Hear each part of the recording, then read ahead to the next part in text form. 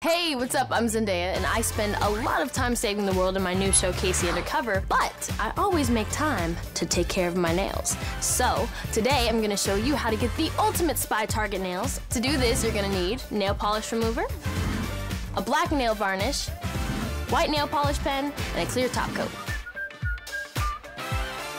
Remember to ask your parents' permission before you start and take care. Start by cleaning the nail with nail polish remover. Then, neatly paint the entire nail with black polish and allow to dry.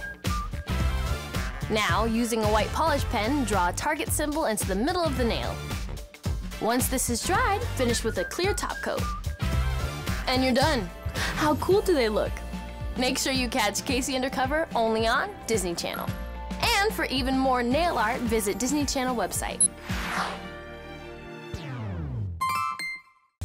Hold it right there. Would you like to be the first to see the latest show clips, exclusive interviews, interactive games, and more? Well, click on the Disney Channel logo now to subscribe.